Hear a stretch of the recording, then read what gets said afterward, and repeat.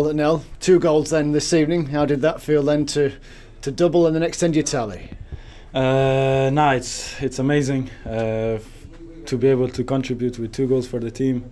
I feel very happy. Uh, I've taken big inspiration from Edin Dzeko, so uh, I don't know. It's uh, it just feels amazing to score and amazing to have a clean sheet and uh, to have three points and.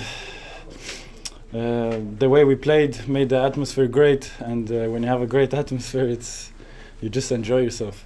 So Edin Dzeko is the inspiration. what happened? Why? I don't know because I've been watching him as uh, as a kid, and he's always been my idol, and he's always been scoring goals. But I'm a defender, so I'm not used to that. But I gotta get used to it now when I play here. Let's be honest, you don't always think you're a defender. You think you're a winger, maybe centre forward next on the list at some stage. I mean, after today, I think I'm a centre forward. so he was well for understandable reasons. He's he's a big hero of yours, is he? Yeah, yeah of course. Uh, I'm lucky to play with him, and uh, uh, he's he's a great character, very professional and humble guy, which I which I try to be as well. And uh, it's just it's just amazing to have a idol mentor like that.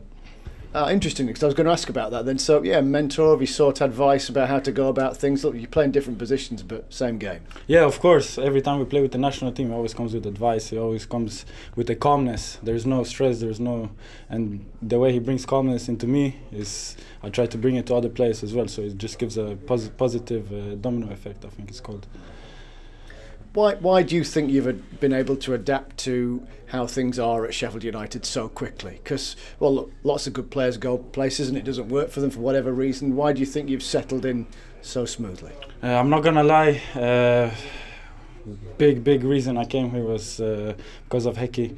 Uh, he gave me a perfect presentation of how he's going to use me and how he thinks I should improve and every point of the presentation he made to me in January it's been spot on and uh, all the things I've I've had to improve uh, it's been uh, it's been really good. And uh, yesterday uh, it's a bit embarrassing to say but we worked on throw-ins because I never used to take throw-ins in my life. And uh, yeah we worked on throw-ins yesterday and today my throw-ins were a little, bit better. And nah it's been it's been amazing since my time here. I've been really enjoying it you will obviously work for different coaches at the different clubs you've, you've played at. It, it, how is it then in comparison? Has anybody been that kind of on you and, and forensic with your game until now? I mean, it's different with every coach. Uh, every coach uh, has uh, has his has his uh, different uh, ways of approaching you. Uh, so far, I've I've had only positive experiences and stood it's it's different. It's different every time. But uh, the only thing I can say is I really really enjoy it here, and uh, I think you can see on the pitch. Yeah, we obviously played in Sweden and France. What what are the the main differences that you're getting used to with English football? It's the tempo and uh, the fitness. I think uh, today. I've been running up and down like a like a rabbit. I don't know, like a, I don't know, and uh, it's it's been very tough. But uh, I think it was one game I think it was Sunderland at home. Uh, I went down on my knees and Hecky screamed at me, "Fucking get up! Don't show you're tired." And uh, after that, I never showed I'm tired. And yeah, it's maybe I don't know, cliche to say, but body language makes makes makes a big big difference, and uh, it's one of the things I've improved also.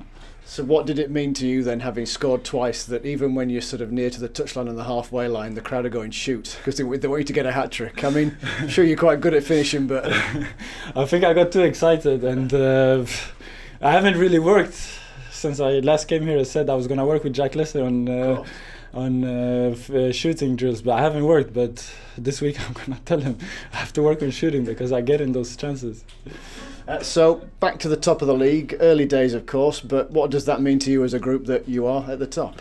I think we have the quality and uh, this team spirit to, to go all the way. Of course, it's early, but uh, the most the, the most dangerous op opponent we have is ourselves.